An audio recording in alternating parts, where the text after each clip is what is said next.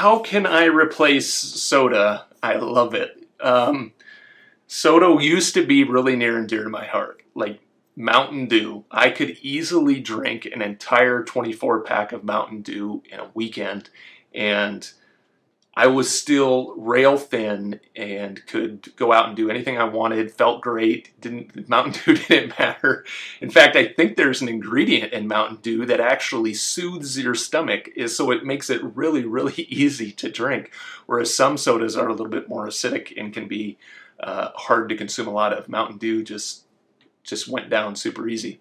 So I understand this. I used to. That was one of the things that I would fall back on when I was doing other types of diets is I would get into a habit where I was drinking soda again, um, and it just spiraled from there.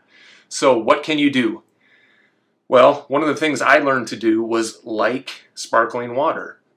I hated sparkling water. Tara and I uh, honeymooned in Europe, and you know they pretty much offer sparkling water as the de facto uh, water that you get any meal you eat and I just could not stand it and I didn't understand why did people want this tasteless fizziness in their mouth well once I started to get my cravings under control and realign you know my taste buds to what sweet and sugar really tastes like I found that this sparkling water was actually really good.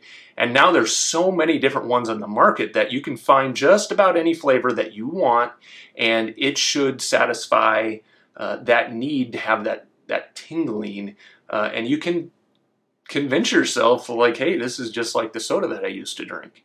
Um, in fact, today I just picked up, you know, uh, Coca-Cola's got a new product, uh, sparkling water called Aha, and it has um, what did I have today? I had peach and honey, like no calories, and I'm sure like some of the flavorings are probably not the best thing, but it really hits the spot when I want something fizzy in my, you know, to drink.